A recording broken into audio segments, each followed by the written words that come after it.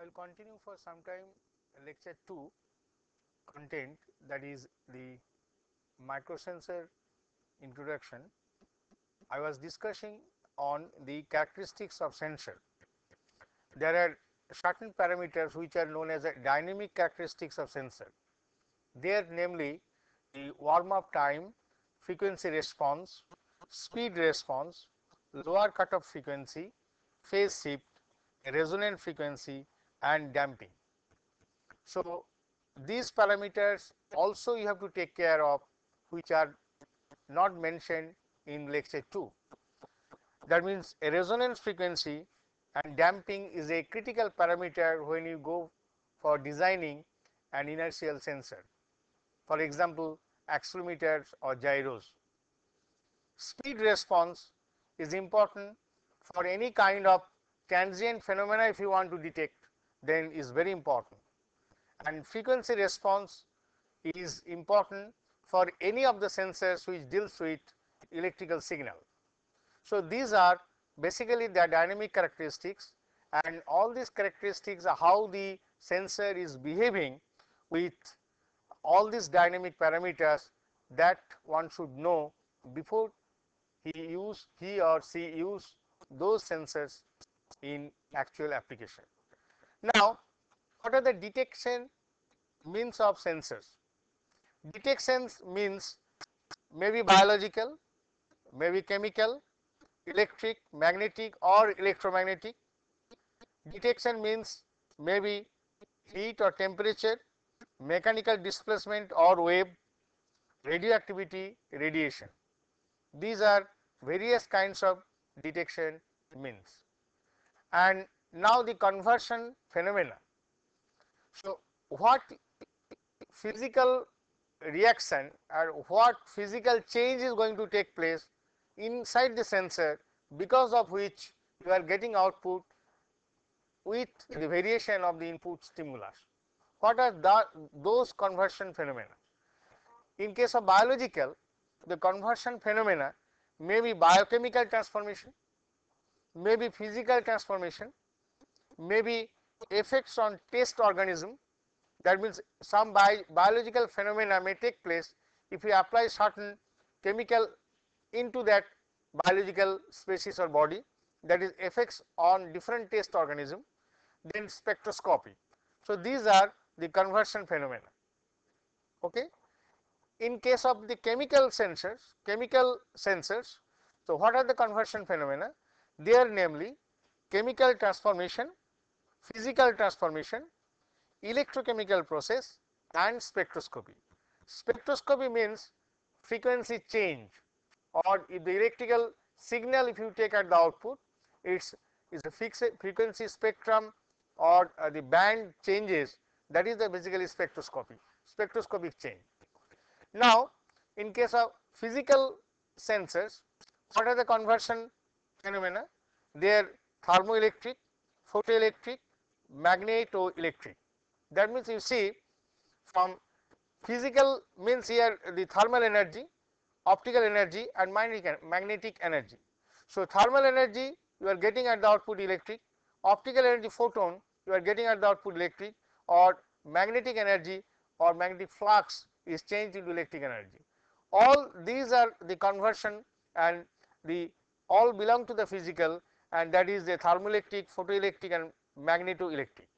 Now, other conversion phenomena is output is a magnetic. So, change of magnetic flux. So, that can be changed if you incident some light on that body that is known as photomagnetic. If elastic property is changed of the body then magnetic energy may change. There are certain materials if you change its elastic properties magnetic flux, uh, magnetic behavior, magnetic property of that particular will be, will be changed.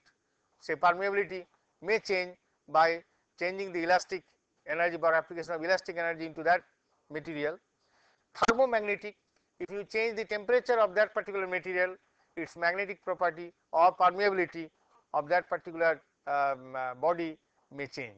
So, those are one kind of conversion phenomena. Thermoelastic and photoelastic is another that means elastic property will change That means what is elastic property? Strain components will change, different strain components may change and then with effect of the thermal energy or photon energy. Photon energy means irradiation by optic, optical energy or light. So, if, if uh, it is irradiated on thermal energy or the optical energy incident, it elastic coefficient or elastic property of that particular material may change. That is one, one kind of conversion. Then elastoelectric, elastoelectric means if the elastic properties are changed, its electrical behavior will change. What are the electric behavior? Permittivity and permeability of material may change. If you apply elastic elastic energy or that means elastic energy means strain or or stress. So, if you apply that deformation or if we apply some stress on that body and you elongate that particular material then what happens. So, the electric property means its dipole moment may change for example, its its uh, per, permittivity may change. Okay. So, this is basically the change of the, elect, uh, uh, the, the electric property for the change of the elastic uh, elastic uh, energy onto the body. Then thermo-optic, thermo-optic is another conversion phenomena that is the uh, the thermal energy is incident on a body its optical property may change or the optical energy is a, is a, is a body is exposed to optical radiation its thermal property will change. Its temperature may change or its kinetic energy of the molecules may change and then automatically it will lead to the change of temperature. These are the conversion phenomena in case of physical sensors. Now, the transducer classifications by electrical property or signal type. This table basically uh, the uh, the given this table gives you the property of the signal descriptor and example along with the the actuator examples also that means classifications of transducer. So, property for example, the resistance descriptor is resistive, example of the sensor is the magnetoresistor and example of the actuator is piezoresistor. So, the the sensor is magnetoresistance and actuator is piezoresistor.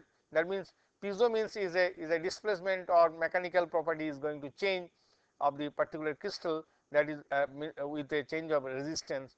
So, that is a piezo resistance or if you apply mechanical stress or strain a resistance may change. Capacitance if you look into its descriptor is capacitive and sensor is a chemical capacitor and its actuator is electrostatic motor. In case of inductance then descriptor is inductive and sensor is inductive proximity sensor and example of the actuator is induction motor. On the other hand if you see the signal then voltage signal deals with the uh, with, the sensor which is thermocouple and its a descriptor is potentiometric. Current change the descriptor is amperometric and its example of the sensor is fuel cell and actuator is solenoid valve. Okay. Charge if you concentrate the signal as a charge or charge or electronic charge then its a descriptor is a coulombic and Sensor example is a piezoelectric and the actuator is electrostatic uh, resonator. Similarly, frequency you can get acoustic wave as the sensor and the stepper motor is basically the example of the actuator. So, this with this uh, actually I give you some introduction of the microsensors, what are the basic uh, blocks in a sensor, its characteristics, its properties and when you select a particular sensor, what are the parameters one should uh, look into for judge a sensor good or bad. So, these are the things which I discussed in this lecture. Now, in the next lecture I will switch over to the sensor evaluations, evolutions, microsensor evaluation, evolutions and at the same time I will discuss on the market survey.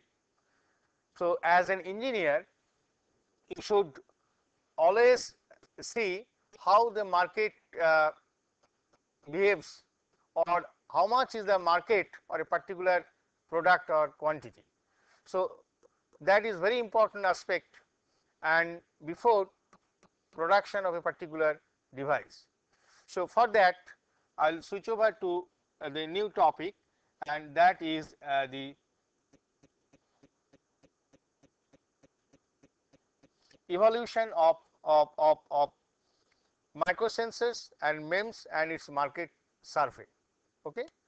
Now, here again I start with Feynman's vision in 1959 when Feynman visionary, he is a great visionary and he told us that there is a plenty of room at the bottom. At the same time, he predicted that the entire encyclopedia could be written on the head of a pin. And his vision in 1959 is close to the reality in 2004 because of the miniaturization of the devices, miniaturization of the systems, at the same time the miniaturization of the sensors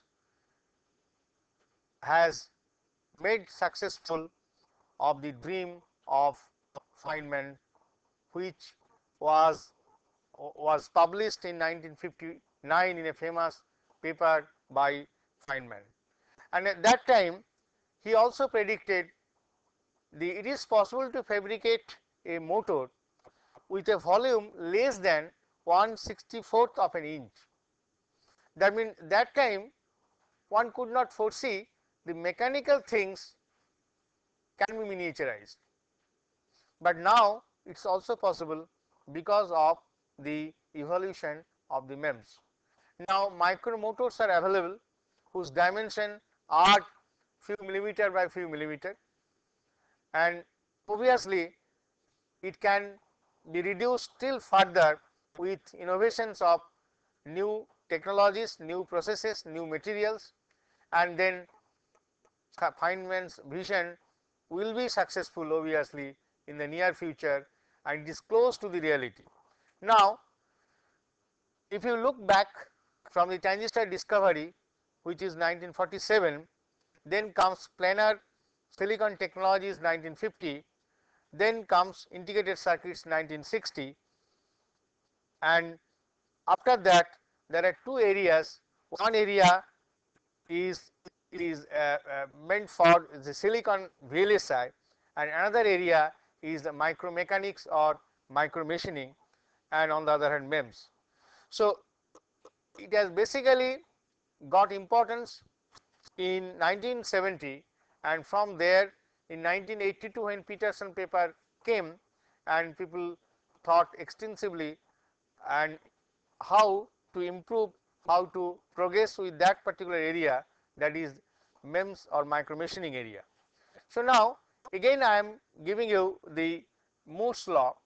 And the Moore's law here it shows the evolution of the computers with the miniaturization of the components.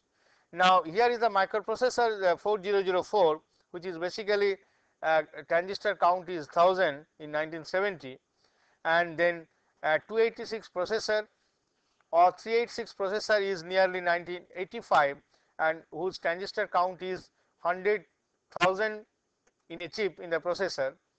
Then next generation is 486 DX processor that is nearly 1990 and its its 10 to the power 6 number of transistors means 1 million. 1 million transistor in 486 that is nearly 1990. Then comes Pentium, Pentium processor, then Pentium 2, now Pentium 3, now Pentium 4 at present. And Pentium 4 you say 100 million transistors are there in Pentium 4 and at present the people are thinking of 1 billion transistor in a chip in a processor. So, these are the evolution of the VLSI as per the Moore's law, but the MEMS evolution does not exactly follow the Moore's law. It is, is a different different space it is advancing and yet to find certain law which is which satisfy the evolution of the MEMS or microsystems. Now, if you look into the evolution of MEMS, the actual thing started in 1954 by paper by C.J. Smith and that is the property of the silicon, a unique property of silicon which is piezoresistive property and that has been observed by C.J. Smith and the paper came out in 1954. Then people started thinking the why not silicon can be used for the uh, the sensors or MEMS. Why the silicon is is giving importance is clear to you because it is compatible with the integrated circuits and VLSI. Then in 1980 the micro machining technology evolved and photolithography etching recognized as a tool of micro machining because earlier the photolithography etching was used in case of patterning of VLSI uh, uh, VLSI uh, components or VLSI fabrication photolithography technique and etching technique was used and in a micro machining means here the same technology, but little bit difference is there here the aspect ratio may be different which is used in case of VLSI is not used in case of micro machining. If you change the aspect ratio then many cases you have to uh, machine a particular material whose protective layer was not known that time. That means passivation layer was not known. That you have to do some research, but people started thinking that it is possible. That is now from 1980 the micro machining uh, uh, came into limelight. And then uh, the lot of research has been taking place in micro machining and at present this field uh, is very promising. And Uh, one can foresee various kinds of sensors using the micro machining which is basically the photolithography and etching etching technique employed in case of VLSI fabrication.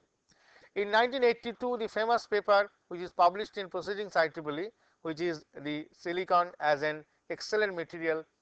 Silicon was known to be excellent material for integrated circuits and VLSI, but later on they found it is also excellent mechanical material because silicon mechanical properties are also excellent. So, it can be used for sensor which which will sense the mechanical behavior of any of any body or any system. So, that is why the silicon is uh, entered into the MEMS area in a big way and after that there is a mushrooming growth of the MEMS uh, industries has taken place because it has very good market potential.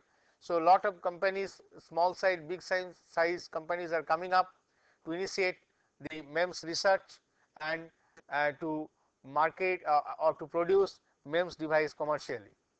Now, semiconductor sensors discovery phase if I see it is 1947 to 1960 is a discovery phase. Then technology development phase I have mentioned is 1960 to 1970 is a basic technology development phase. Then batch process phase is 70 to 80 in case of semiconductor sensor. Then micro machining phase 1980 to till date. So, these are the different phases of evolution of semiconductor microsensors. Now, last 10 years people call the decade of microprocessor because we have seen the evolution of microprocessor from the Moore's law curve that lot of evolution and lot of improvement is uh, is has been taken place in last 10 years. That is why that was known as the decade of microprocessors. And next 10 years 10 years people are predicting so that will be decade of microsensors microsensors and MEMS. And now the if you look into the chronology of the MEMS development then we can see from 1975 to 1989 basically micro machining, silicon, MEMS and microsystems. 79 the first MEMS accelerometer was reported and 1993 it has been commercialized by Stanford University research effort has enabled analog devices to commercialize some MEMS accelerometer nearly 1993. In 1990 surface micromachining advanced MEMS technology compatible with CMOS process came and which is which has lot of application in automotive, medical, IT and industry, military and aerospace. So, then market. So, let us now uh, discuss a little bit on MEMS market in different area. The characteristics of the MEMS market are fragmented because of different amount of application in different areas. Even then the cumulative annual growth rate of the MEMS market is nearly 25 percent. Today large volume applications of MEMS device are in the area of inkjet head in case of pressure and acceleration sensors for automobile application and pressure sensors for medical application. These three area big market at present. One is the inkjet head, other is basically pressure sensors and acceleration sensors. Application areas are automotive application and medical application. Now, new killer applications expected, those at present this market is not very big, but within one or two year it will be the killer application. What are those areas? One is the RF MEMS for wireless communication. You know at present lot of wireless devices are coming up because one, one, one example is your mobile, mobile handset. So, for that lot of RF MEMS components are required and mobile handset they use lot of miniaturized components. Then optomems for telecommunication application. It may restart, but not within the next 24 months people are predicting. Other is a killer applications is biomems. a strong growth since 1997 for DNA chip and prote proteomic chip, but very fragmented in terms of applications and technologies. Major growth areas of MEMS they use a specific process to make devices for key customers that is the application specific. Now, if you look the market growth in terms of US dollar then this table gives that automotive, medical, IT and industrial application, military and aerospace and the total market of MEMS in terms of millions of US dollar. You see 1996 automotive is 355 million US dollar, medical 165, information technology and industrial control is 492 million US dollar market and military application is defense is 62 million US dollar, total is 1074. Now in 2000 and 2004 if you look this two year the market in comparison with 1996 then you can see here that every 4 year the market has almost doubled. So, here 355 to 646 from 646 6 it is nearly 1172. So, almost double is the total growth you can see here 1074 in 1996 is 3604 million US dollar in 2004. So, that means market is picking up. Now, the sales of MEMS device in term MEMS device particular application wise is compared in this table in 1996 and 2003. So, inkjet printer heads, mass flow sensors, biolab chips is which is microfluidic chips in 1996 it is a 400 to 500 euros million euros and 2003 it is 3000 to 4450 million euros. You can see the change. Pressure sensors automotive and medical which is unique device is pressure sensor, its application or is automotive, medical or industrial from nearly 400 to 800 in 1996 and it is 1100 to 2150 million euros in 2003.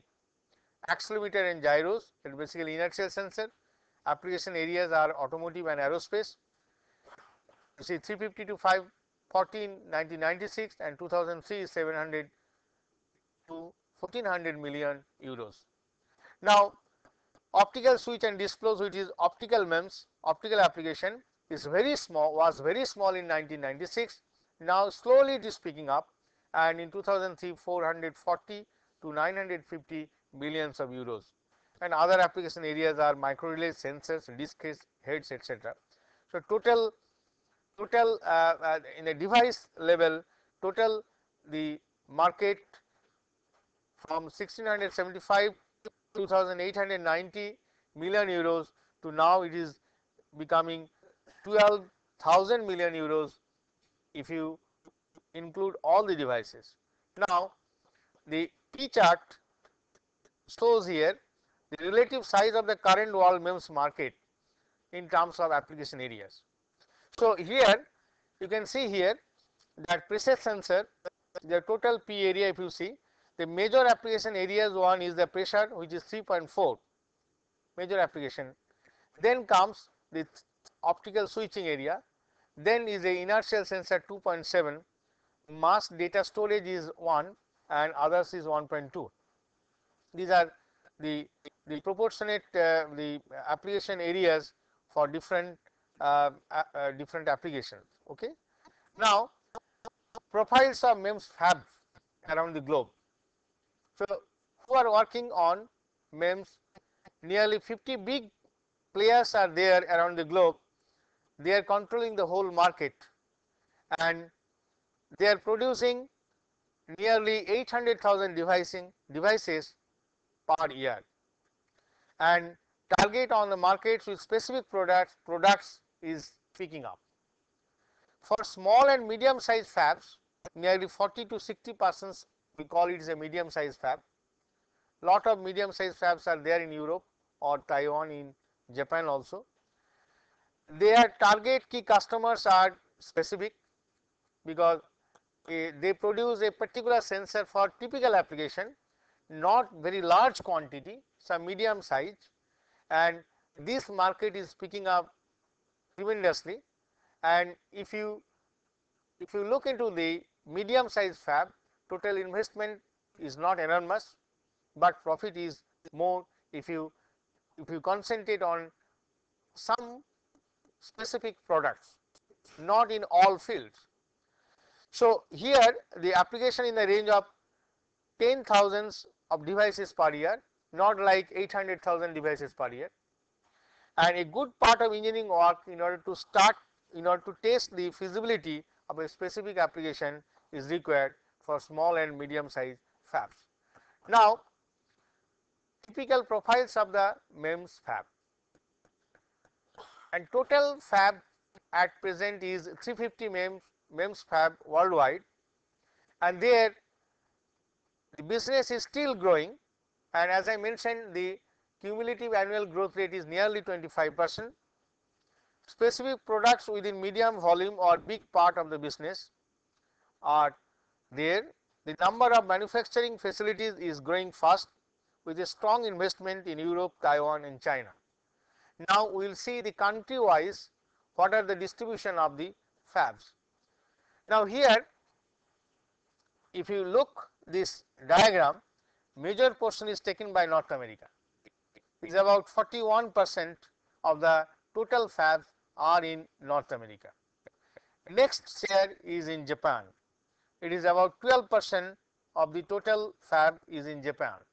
Next is the Europe and in Europe if you divide different countries then comes first the Germany is a 10 percent then comes say uh, the 6 percent both France and Scandinavian countries, then Benelux is 5 percent, Switzerland 4 percent and UK 4 percent, rest of the Europe means East, East European countries they they contribute 3 percent of the total fabs.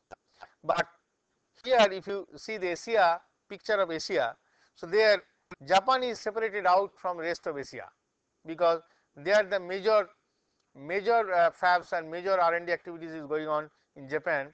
That is why it Japan itself is 12 percent and rest of Asia is only 9 percent. So, this is the countrywide dis distribution and now the characteristics of Europe, North America and Asia in terms of the uh, the uh, fabs in terms of the number of people in terms of the device production and in terms of the companies are shown in this table. So, in 2001 in Europe 120 companies were there, North America were 160 and Asia 70. People working in the company in Europe it is nearly 5000 out of that 4500 is R&D. So, North America nearly 6000 people and Asia very small amount of people is, is a 1000 that is basically the I am talking about in fab. So, now number of processed 4 inch wafers is 800,000 in Europe, 1.5 million in North America and 500,000 in Asia there is a strong growth in Taiwan. Estimated sales 1 billion euro, Europe is selling, North America 2 to 2.5 billion euros and Asian data are not available. Major established players in Europe are Bosch, Sens Sensonor, VTI, Hamlin, X-FAB and Balti and North America is analog devices AD, Hewlett Packard, TI, Texas Instruments, Honeywell and Delphi. In Asia, Denso, Samsung is a Korean company you know and Melco. These are the Asian players. Now, some of the companies are growing. In case of Europe, you can see Tronics, Memscap and the Silex, Microfab, Microparts they are coming in a big way in Europe. North America similarly, similar 50 companies are there and Asia the growing companies are APM and Walsin and some others in Korea. Now, the country wise picture Europe if you look here then very fragmented markets with few large volume application in MEMS products mainly automotive and inkjet heads they are concentrating. If you look into microfluidic or microarray activities that is in Europe is doing service oriented work in microfluidics some companies telling they need microfluidic sensor in this area this much amount they are on that not in mass scale production. Polymer micro application is emerging strongly in Europe. Strong presence in DNA microarrays and protein arrays that is also coming up in Europe. In optical side yet to start they are beginning the optical MEMS MEMS uh, uh, R&D is there, but in fabrication finished product they are yet to restart the mark uh, the production strong R&D in some new companies is is getting uh, momentum now nowadays in Europe. Now look into the North America. So here strong presence in high volume markets such as automotive and IT in case of North America. In microfluidics and microarrays arrays, strong position of the USA 40 percent market share in DNA chip business. 40 percent mark 40 percent market share in DNA chip. So, that is, is, is basically in biomems uh, the USA is going ahead among many other countries. Very low level of activities in the polymer MEMS field. As I mentioned earlier also, the polymer MEMS is getting importance very recently with the discovery of the active devices using the polymer material like field effect transistors is now being produced in a, a, using the polymer and it has been demonstrated. So, if it is so then the MEMS devices particularly the biomems device polymer is also biocompatible. So, uh, bio, biomems can easily be fabricated using the polymer materials. So, you can easily integrate the active devices as well as the sensors and actuators total using the polymer. That is why not in production level, but R&D level people are interested much at present to do the polymer MEMS research. Okay.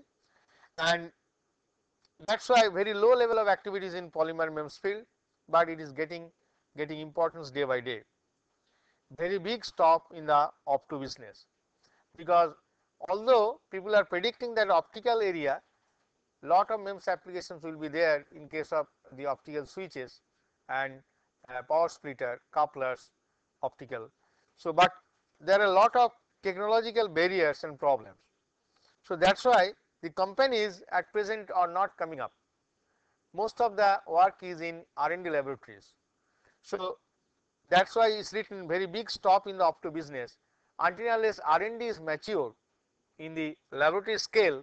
So, company may not invest uh, the fund into the opto MEMS research or MEMS production or R&D business R&D whatever you you call okay. Now coming to the Asia, Asia actually divided into two part one is a Japan another is outside Japan. So in Japan lot of regional research efforts is there a lot of cohesiveness among the different companies are there and there in Asia they are the uh, the, uh, the the one of the important uh, uh, uh, country who looks ahead in terms of business compared to other Asian countries. So that is why lot of commercial commercialization is taking place under the roof of big companies in Japan in MEMS and microsystem area. But in microarrays and microfluidics, the initiative has launched in 2001 and they are picking up slowly in this particular field which has lot tremendous potential in biomedical application. Outside Japan if you look there are lot of players there particularly in three country one is in Korea other is Taiwan and rest is and other one is China. So, many startup companies has come up in Korea and they are yet to produce the commercial products into the market.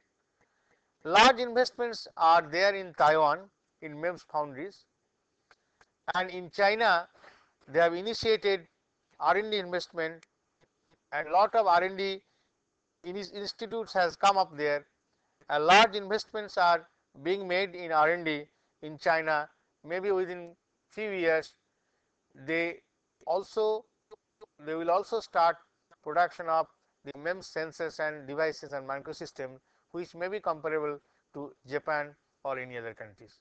There very emerging R&D is there in case in China.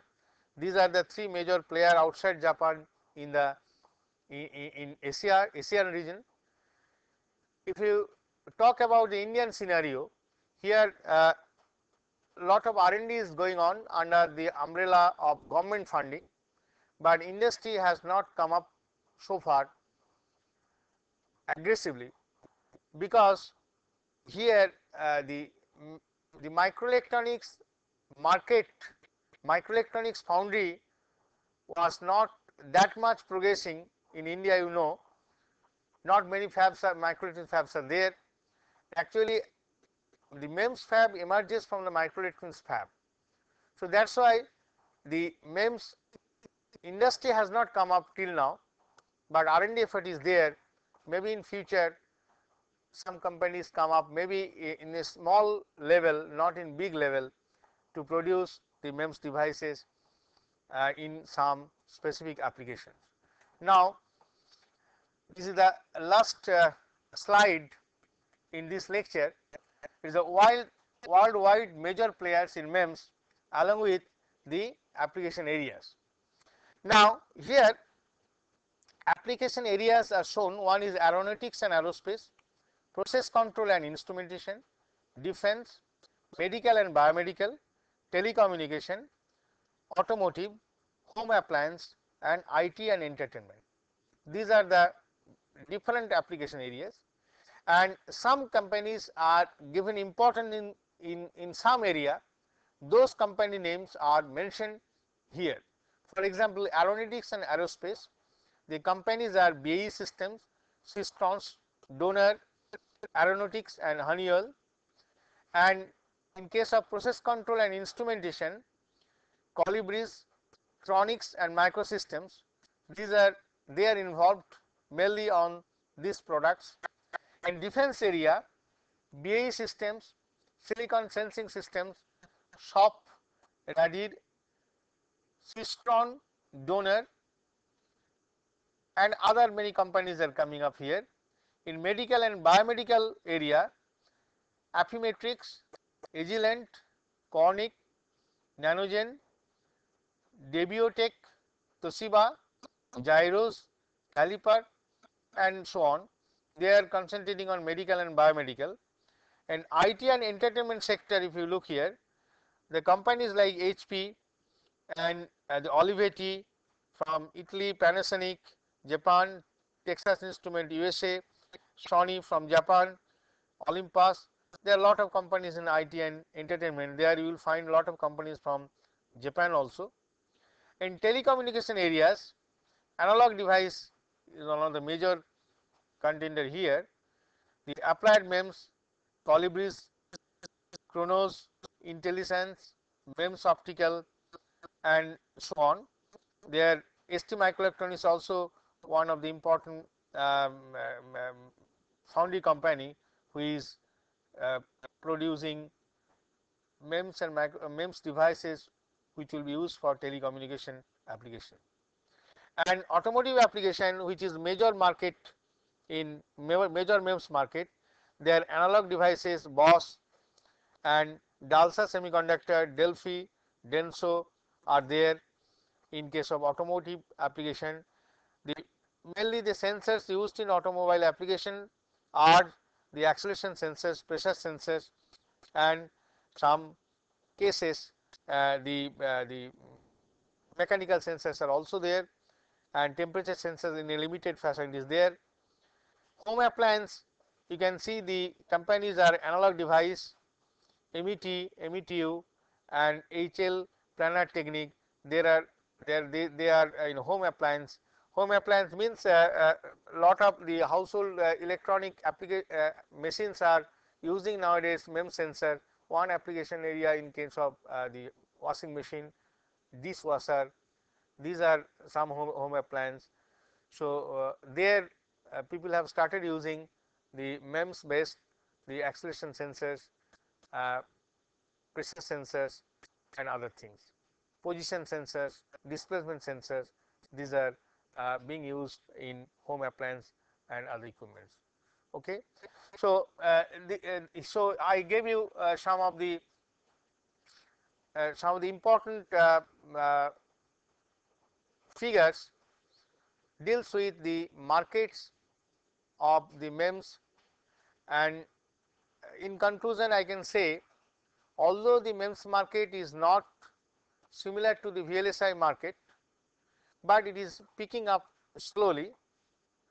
People have identified the application areas, people had people have seen the advantages of the MEMS and micro, machine devices compared to bulk devices used in early cases and at most people have seen the the cost or the uh, cost performance ratio of those MEMS devices it has shown an important uh, very specific potential in future microsystems.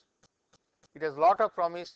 So, R&D is picking up day by day in a major way and maybe within few years you will find that MEMS market will uh, nearly touch the VLSI market also. So, with this let me stop here with this lecture.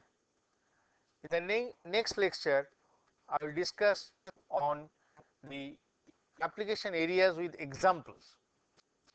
Applications I discuss little bit today's lecture and first lecture also, but specific areas of application with little bit principle of application I will discuss in the next lecture.